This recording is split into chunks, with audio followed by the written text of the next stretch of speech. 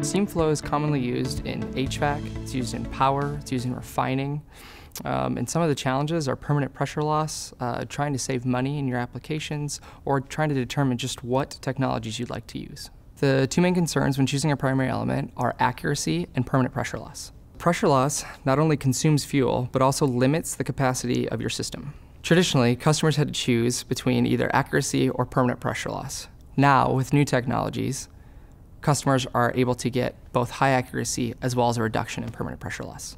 The five things you need to know when choosing a technology for your steam application are what kind of steam you have and the line size. You also need to understand your available straight run and the location of the application, whether it be inside or outside. And lastly, you need to recognize the pros and cons of each technology, whether you're using an Annubar, conditioning orifice technology, or Vortex.